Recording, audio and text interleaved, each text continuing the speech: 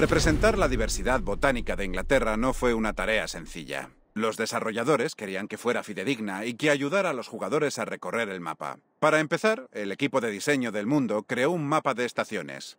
Inglaterra se dividió en cuatro zonas y a cada una se le asignó una estación. Cada estación tenía una gama de vegetación única, desde la hierba hasta los árboles, y su propia capa de humedad ambiental que determinaba el tipo de terreno.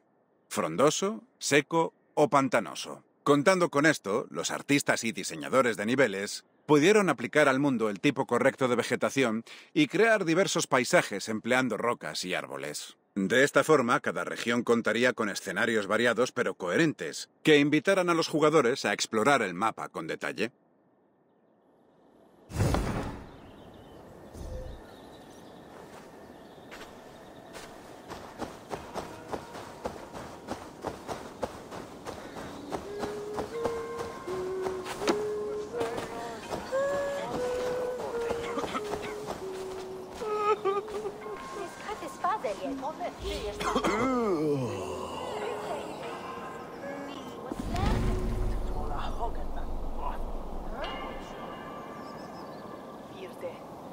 framtalas erken. Finnistatten hei. Olla. Välkomna. Var är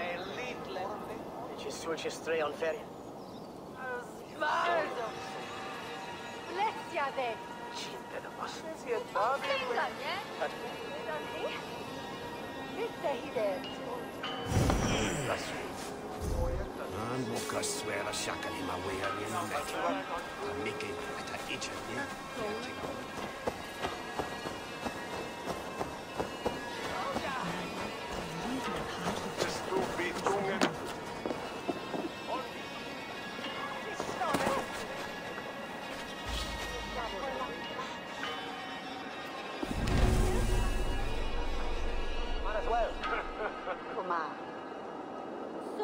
Well, us.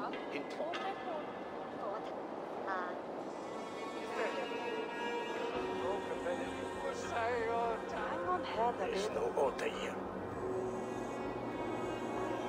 Es kann es fazelje. Tome fyrstata. Bitte hide.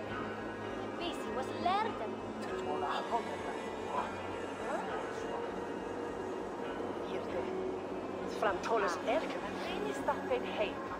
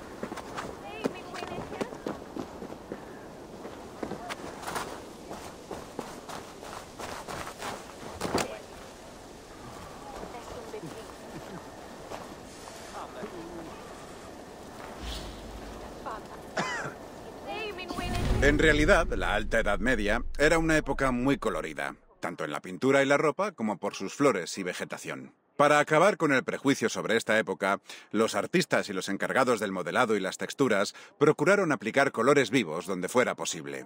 No obstante, como siempre, existe un equilibrio delicado entre las necesidades del juego y la fidelidad histórica. En algunos casos, los desarrolladores decidieron seguir usando un color a pesar de las quejas de los historiadores.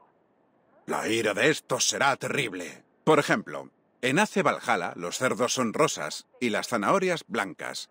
aunque los cerdos de la época eran más bien marrones, y las zanahorias exhibían una amplia gama de colores, del blanco al morado. Esta decisión ayuda a comprender el mundo, pero también a mantener la coherencia cuando se usan ciertos objetos en el juego, como las vasijas de aceite explosivas, que son rojas. Un color único y propio ayuda a identificar los objetos.